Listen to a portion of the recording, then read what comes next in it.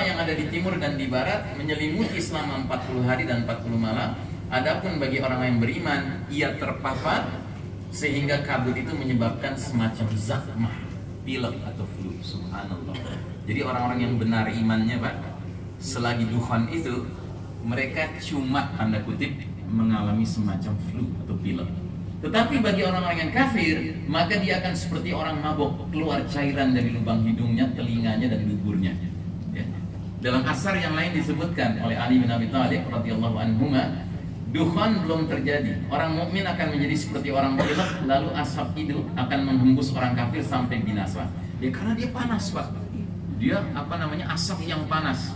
Ya akibat benturan dari langit ya yang menimbulkan ledakan yang menyebabkan kabut yang gelap itu ya. Kalau kata Umar radhiyallahu anhu anaknya Umar bin Khattab, Ibnu Umar Abdullah bin Umar akan keluar dukhan lalu orang mukmin terkena imbasnya hingga seperti orang pilek. Lalu asap ini masuk ke telinga orang kafir dan munafik sehingga kepala mereka seperti kepala hewan panggang. Jadi mereka akan merasa kepanasan, Pak. Ya. Bahkan di dalam riwayat yang lain dikatakan bahwa itulah yang menyebabkan terjadinya pengubahan rupa, Pak ya wajah-wajah orang-orang kafir, orang munafik itu akan berubah wajahnya. Termasuk Dajjal, kenapa disebut akwar bermata sebelah? Karena sebenarnya matanya ada dua, tetapi yang sebelah cacat.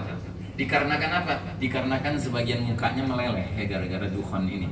Ya sehingga Nabi mengistilahkan salah satu matanya Dajjal itu laksana buah anggur yang nemplok di kulit mukanya.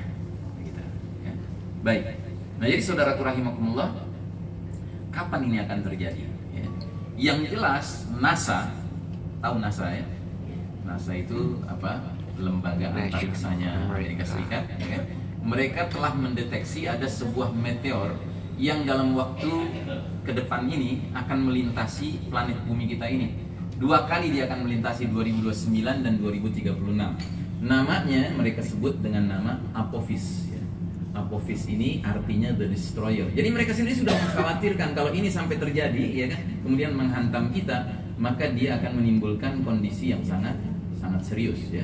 Nah, mari kita lihat apa namanya, apa yang terjadi kalau di Apophis ini benar-benar berbenturan dengan dengan planet kita.